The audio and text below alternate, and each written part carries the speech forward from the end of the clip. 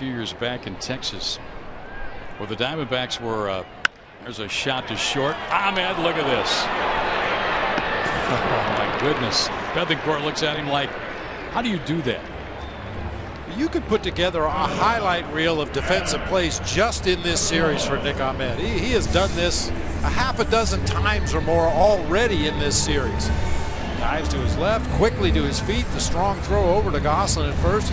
Never a doubt. I thought the great one last night was when Ramirez was robbed of a hit and he put his hand in the air saluting Ahmed yep. on just a great play.